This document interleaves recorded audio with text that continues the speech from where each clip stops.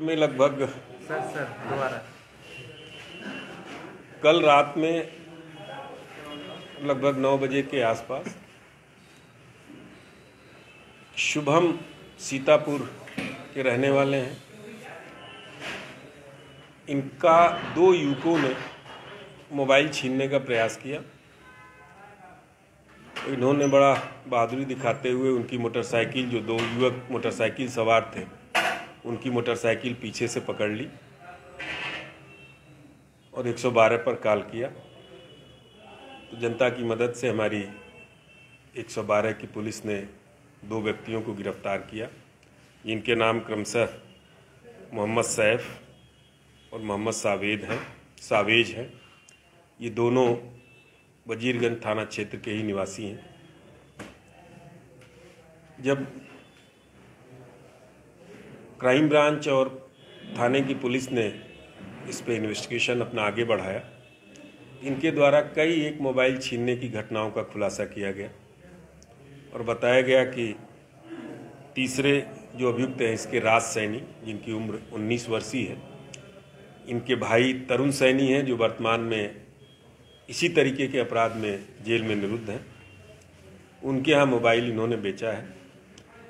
कुल चार अन्य लूटों के, यानी इस लूट का मोबाइल मिला के कुल पाँच मोबाइल अभी बरामद हो गए हैं। इन्होंने ढेर सारी घटनाएँ बताई हैं, उस पर हम इन्वेस्टिगेशन कर रहे हैं।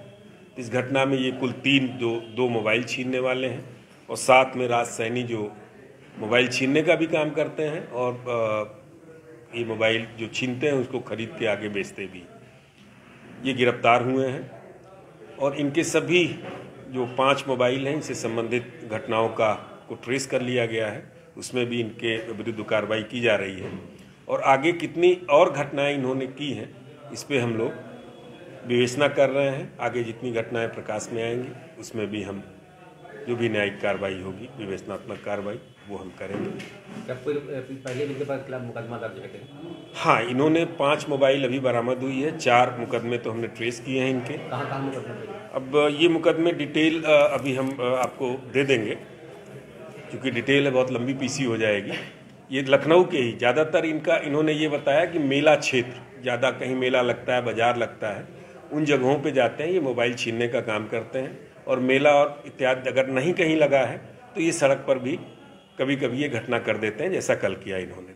ये बता रहे हैं लगभग एक डेढ़ वर्ष से ये घटना कर रहे हैं और इन्होंने जो सैफ है इन्होंने बताया कि जो राज सैनी है इसका भाई तरुण सैनी इसके साथ रह के हमने ये काम मोबाइल छीनने का काम सीखा था जो वर्तमान में अभी जेल में निरुद्ध है। बाकी इनके विरुद्ध आगे भी हम लोग कानूनी तौर पे जो भी आगे की और कार्रवाई है प्रिवेंटिव एक्शन करेंगे ताकि ये इनकी अ, गतिविधियों को रोका जा सके। अभी ये बहुत एक्टिव है इस काम में। किसको बेचते थे ये मोहल्ले में कई पब्लिक को भी बेच देते थे बाकी एक पकड़ा गया राज सैनी जैसा मैंने आपको बताया इसके थ्रू कराते थे। एक आध नाम और बताया था जो विवेचना के हित दुकान पर नहीं बेचते थे। ये राज सैनी को देते थे। राज सैनी अपना प्राइवेट लोगों को झूठ बोल के बेचता था। ये सेकेंड हैंड मोबाइल है।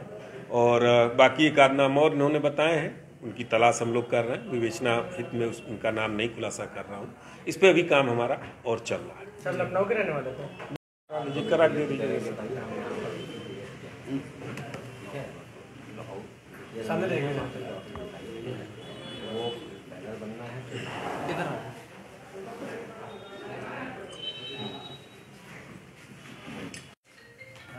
ये कौन सा यंत्र?